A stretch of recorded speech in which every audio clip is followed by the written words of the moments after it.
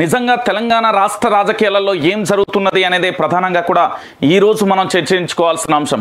ఎందుకంటే ముఖ్యమంత్రి కల్వకుంట్ల చంద్రశేఖరరావుకు సంబంధించి రెండు చోట్ల పోటీ చేయడం ఏదైతే ఉందో ఆ రెండు చోట్ల కూడా ఓడించేందుకు విపక్షాలు సిద్ధమైనట్లుగా తెలుస్తుంది. దానికి తోడు మరొక అంశం ఏంటంటే ఇప్పుడు ప్రస్తుతం తెలంగాణ రాష్ట్ర రాజకీయాలలో ఎవరెవరి లిస్టు బయటికి రాబోతుంది ఎవరెవరు బయట పక్కదారి పడుతున్నారు ఏ రాజకీయ పార్టీల వెంట చూస్తున్నారు అనేది ముఖ్యమంత్రి గారు అయితే చాలా క్లారిటీగా కూడా అబ్జర్వేషన్లో ఉన్నట్టుగా ఆ, తెలుస్తుంది. దీనికి తోడు ఎందుకంటే చాలా వరకు కూడా తెలంగాణ రాష్ట్రం ఏర్పడిన తర్వాత రెండు వేల పద్నాలుగు నుంచి పద్దెనిమిది వరకు వలసలు అయితే కొనసాగిన పరిణామాన్ని అయితే చూస్తాం. ఆ వలసలకు సంబంధించి అంటే బీజేపీ నుంచి కానీ కాంగ్రెస్ పార్టీ నుంచి కానీ మరికొందరు కూడా పూర్తి స్థాయిలో కూడా పార్టీలోకి వచ్చిన తర్వాత ఒక ఉద్యమకారులు ఒకవైపు దాంతో పాటుగా ఇతర పార్టీల నుంచి వచ్చిన వారు మరోవైపు వారికి తోడు ఇంకొకటి ఏంటంటే అదే పార్టీలో కొనసాగిన వాళ్ళు మరొకటి ఇక ఎమ్మెల్యే టికెట్లు ఆశించి వివిధ కార్పొరేషన్లు ఆశించి రకరకాలుగా అసమ్మతులు ఎవరెవరైతే ఉన్నారో వాళ్ళందరినీ కూడా సాగనంపేందుకే ఈ కార్యక్రమం అంటూ కూడా విశ్వసనీయ వర్గాల నుంచి అయితే సమాచారం అయితే అందుతుంది.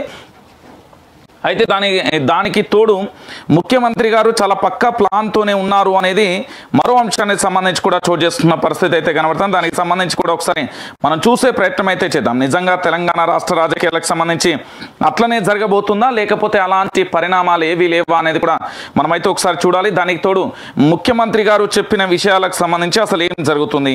తెలంగాణలో ఎలాంటి పరిణామాలు ఉన్నాయి అనేది ఒకసారి మనం చర్చించుకునే ఆ, ప్రయత్నం అయితే చేద్దాం. నిజంగా తెలంగాణ రాష్ట్ర వ్యాప్తంగా ఏం జరుగుతుంది? దానికి తోడు ఆ, కేసీఆర్ రెండు చోట్ల ఓటమి కోసం ఏ విధంగా ఆ ప్రయత్నాలు జరుగుతున్నది అనేది కూడా చూసే ప్రయత్నం అయితే చేద్దాం. మొదటగా మన ప్రజా వెలుగు దినపత్రికకి అయితే వెళ్దాం. ప్రజా ప్రజా వెలుగు దినపత్రికకు సంబంధించి పక్క ప్లా ఆ, ప్లాన్తోనే హైడ్రిక్ అడుగులు పాజిటివ్ ఓటు పైన ఆశలు అంటూ కూడా చూడొచ్చు. సీఎం కేసీఆర్ గతం కంటే భిన్నంగా వ్యవహరిస్తున్నారు. వరుసగా మూడోసారి గెలిచి హైడ్రిక్ సాధించడంతో పాటుగా ప్రతిపక్షాలను దెబ్బకొట్టాలని భావిస్తున్నారు.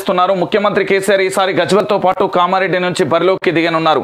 ప్రస్తుతం ప్రభుత్వ విప్ గంప గోవర్ధన్ ఈ నియోజకవర్గాన్ని ప్రాతినిధ్యం వహిస్తున్నారు. సీఎం కేసీఆర్ను కామారెడ్డి నుంచి పోటీ చేయాలంటూ ఆయన ఇప్పటికే మూడు సార్లు ఆహ్వానించారు. సీఎం కేసీఆర్ ప్రత్యేకంగా కామారెడ్డి నుంచి పోటీ చేయాలని నిర్ణయానికి రావడం రాజకీయం వ్యూహంలో భాగమే అంటున్నారు రాజకీయ విశ్లేషకులు.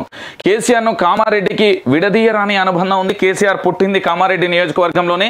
బీబీపేట మండలం కోనాపూర్ సీఎం కేసీఆర్ సొంత ఊరు. ఆయన ఇదే గ్రామంలో పుట్టారు. తల్లి వెంకటమ్మకు ముస్తా ముస్తాబాబాద్కు చెందిన రాఘవరావుతో ఇల్లరికం పెళ్ళి చేశారు. ఇక మిడ్మానేరు డ్యాం నిర్మాణంతో ఆ కోనాపూర్ ముంపునకు గురి కావడంతో ఊరి ఖాళీ చేసి చింతమడకకు కేసీఆర్ ఫ్యామిలీ మకాం మార్చింది.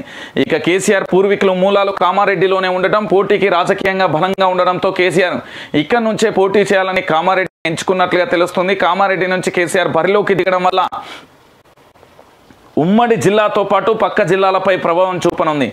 ఉత్తర తెలంగాణలో గతంలో గత ఎన్నికలలో నిజామాబాద్ కరీంనగర్ ఆదిలాబాద్ లోక్సభ స్థానం సొంత చేసుకుని ఈ ప్రాంతాలపై పాగా వేయచ్చని కమలం పార్టీకి చెక్ పెట్టవచ్చని వ్యూహరచన చేస్తున్నట్లుగా తెలుస్తుంది. ఉమ్మడి నిజామాబాద్తో పాటుగా జగిత్యాల కరీంనగర్ నిర్మల్ జిల్లాలకు సంబంధించి కూడా ప్రధాన కూడా చర్చనీయాంశంగా కూడా మారుతున్న పరిస్థితి కనబడుతుంది.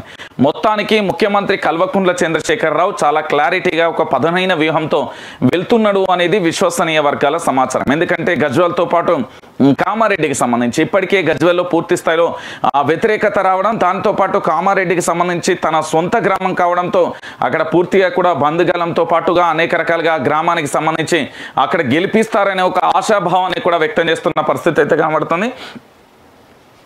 సో ఇలాంటి పరిస్థితులలో పక్కా ప్లాన్తోనే హైడ్రిక్ అడుగులు వేస్తున్నారు అనేది ముఖ్యమంత్రికి సంబంధించిన అప్డేట్. అయితే దీంట్లో కామారెడ్డికి సంబంధించి గజ్వల్కి సంబంధించి ఇటు చింతపడకకు మకాం మార్చడానికి అక్కడ ఏదైతే డ్యామ్ నిర్మాణానికి సంబంధించి కొనసాగిందో ఆ డ్యామ్ మిడ్మానేరు డ్యామ్ నిర్మాణంతో కోనాపూర్ ముంపు గురి కావడంతోనే ఊరును మార్చి ఆ చింతమడకకైతే కేసీఆర్ ఫ్యామిలీ అయితే వెళ్ళిపోయిన పరిస్థితి అయితే కనబడ్డది. ఓవరాల్గా ముఖ్యమంత్రికి సంబంధించి ప్రధానంగా కూడా ఒకటే అడుగు పక్కా ప్లాన్తో మాత్రమే హైడ్రిక్ అడుగులు వేస్తున్నాడు ముఖ్యమంత్రి అని చెప్పడంలో ఎలాంటి డౌట్ లేదు. ఎందుకు అంటే ముఖ్యమంత్రి గారికి సంబంధించి ఒక విభిన్నమైన ఆలోచన ఉంటుంది.